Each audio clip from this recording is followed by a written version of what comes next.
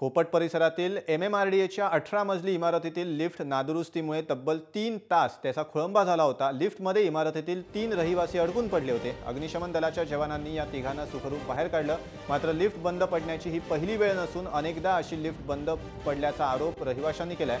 ठाण्यातील रस्ता बाधित किंवा इमारत बाधितांना राहण्यासाठी ही अठरा मजली इमारत आहे. मात्र पालिका प्रशासनाचं या इमारतीकडे पूर्णपणे दुर्लक्ष होत असल्याचा आरोप स्थानिकांनी केला आहे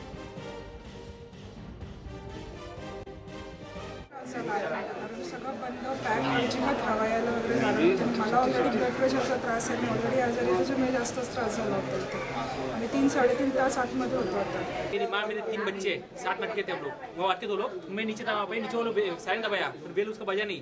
फिर ऊपर में गया ऊपर. तो उसके कुछ टाइम बाद, यानी बीस, पच्चीस मिनट बाद वहाँ पे चाबी ला के उसको खोल के वहाँ से बाहर निकाला उसके अंदर से।